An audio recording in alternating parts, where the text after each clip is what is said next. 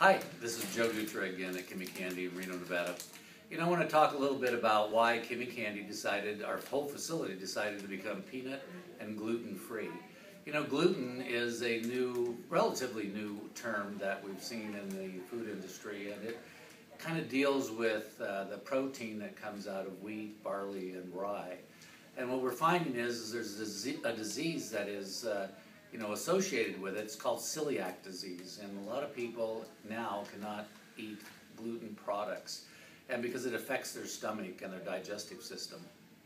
What we've done here at Kimmie Candy, we've started to address all the allergens that we can, and when we moved here to uh, Reno, Nevada, and put the facility in, we decided that we wanted to have the healthiest candies, and one of those reasons is we decided to be an allergen free with regards to peanuts and gluten.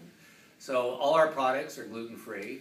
We, uh, we stress that, uh, you know, all our future products will be gluten-free.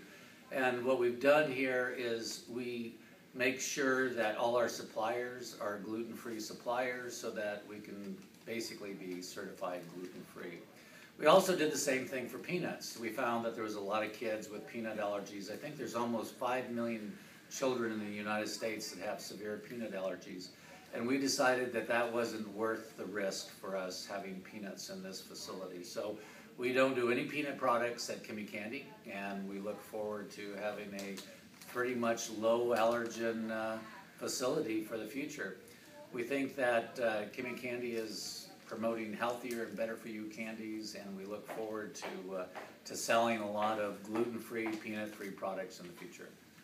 Thanks.